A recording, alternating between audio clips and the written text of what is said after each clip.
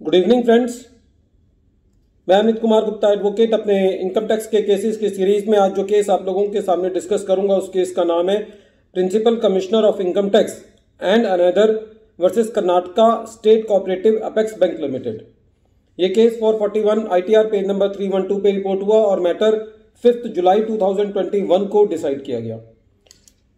Friends इस case के facts इस तरीके से हैं। एसएससी एक कोऑपरेटिव बैंक है। एसएससी ने कुछ कॉन्ट्रीब्यूशंस किए। उन कॉन्ट्रीब्यूशंस का नाम था common good fund special assistant fund payment to P A C S D C C B fund rural farmer socio economic development fund SSC ने जो अपने प्रॉफिट एंड लॉस अकाउंट के अंदर इनको डेबिट किया और इनका खर्चा क्लेम किया section thirty seven sub section one के अंदर। ये कहते हुए कि ये एसएससी के बिज़नेस के लिए ज़रूरी है। These contribution have been made for the purpose of the business इस केस के अंदर एसएससी की सेक्शन 143 सब सेक्शन थ्री के अंदर भी असेसमेंट की गई थी और बाद में 147 के अंदर जब असेसमेंट की गई तो ये जितने भी खर्चे थे इन सबको एड बैक कर दिया गया। ये कह करके कि ये अप्रोप्रिएशन ऑफ़ प्रॉफिट्स है, ये प्रॉफिट के ऊपर चार्ज नहीं है। एसएससी को कुछ रिलीफ सीआईटी अपील से मिला, कुछ रिलीफ आईटीएटी में जाकर के मिला। इसलिए डिपार्टमेंट जो है वो, जो आईटीएटी ने एसएससी को कंप्लीट रिलीफ दे दिया था, उसके अंगेंस्ट जो है वो हाईकोर्ट गया। हाईकोर्ट का कहना था कि डिपार्टमेंट ने कहीं पे भी ये नहीं बताया है कि एसएससी ने ये खर्चे अपने पर्सनल पर्पसेस के लिए किए हैं, जो कि सेक्शन 37 के अंदर एक्सेप्शंस होते हैं। कहीं पे भी डिपार्टमेंट ने ये नहीं बताया कि ये पेनल्टी के नेचर में है। कहीं पे भी डिपार्टमेंट ने ये नहीं बताया कि ये खर्चे जो हैं, ये चैप्टर फोर के अंदर कवर होते हैं। एक और जो इंपॉर्टेंट बात इस केस में थी कि एसएससी के एक और असेसमेंट ईयर के लिए एसएससी को हाई कोर्ट से सेम इशू के ऊपर जो है वो रिलीफ मिल चुका था।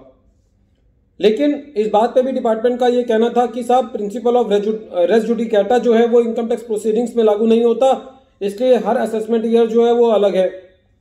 तो इसके ऊपर हाईकोर्ट का कहना यह था कि जब फैक्ट्स एंड सर्क्यूमस्टांसेस बिल्कुल सेम होते हैं तो कंसिस्टेंसी के बेसिस पर आप हर साल जो है वो अलग स्टैंड नहीं ले सकते। इस केस के अंदर एक एसएससी की एक मेन दलील ये भी थी कि जो भी एसएससी ने ये कंट्रीब्यूशन किया है इन फंड्स के अंदर, उन कंट्रीब्यूशन से कभी भी एसएससी को कुछ रिवर्ट बैक नहीं मिलना। ये कंट्रीब्यूशन कर दिया एसएससी की जेब से पैसा चला गया।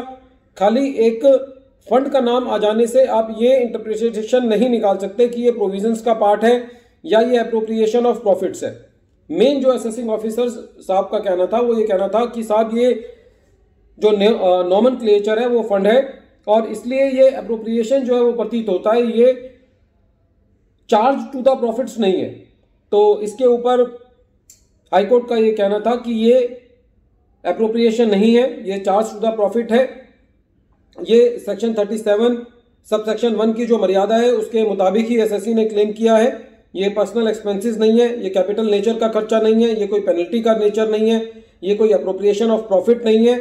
और जो सबसे बड़ी बात है, ये उन सारे जो खर्चे होते हैं expenditure of the nature described in other sections of chapter four of the act के अंदर भी नहीं आता।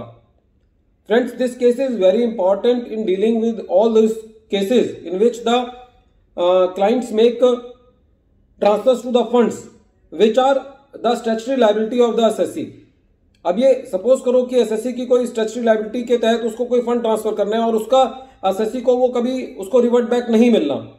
तो एसएससी के लिए तो ये खर्चा है क्योंकि उसको अपने बिज़नेस को चलाने के लिए इन सब का खर्चा करना है। तो खाली एक उस खर्चे के क्लिएचर के अंदर खाली फंड वर्ड आ जाने से आप ये नहीं कह सकते कि ये चार्ज टू द प्रॉफिट नहीं है, ये अप्रोप्रिएशन टू द प्रॉफिट है। Friends, once again I am repeating the name of the case. The name of the case is Principal Commissioner of Income Tax and another versus Karnataka State Cooperative Apex Bank Limited. Friends, at the end of my this video, I appeal to you that if you want to receive the future notifications of my coming videos at the proper interval of time or regular interval of time, then you may subscribe my channel and press the bell icon. By doing so, I will be also motivated uh, to make more videos for you and the main purpose of making this channel is to just to uh, impart the knowledge to my professional brothers and the various assessees uh, who are stuck in their income tax cases. Thank you friends.